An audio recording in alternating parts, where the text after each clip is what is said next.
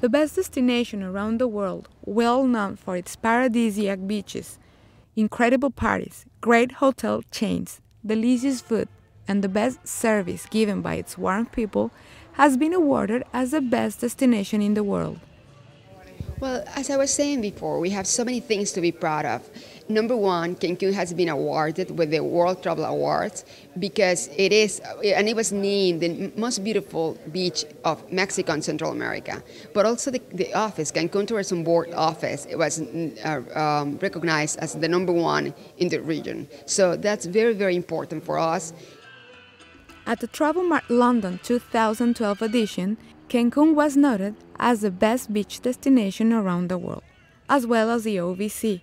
The organization responsible for the promotion was also rewarded for its work in the matter. It's uh, the Mayan legacy.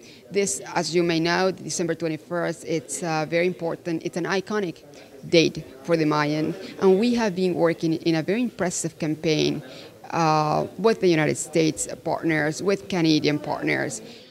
World recognized and awarded as the best destination around the world, it is an easy decision.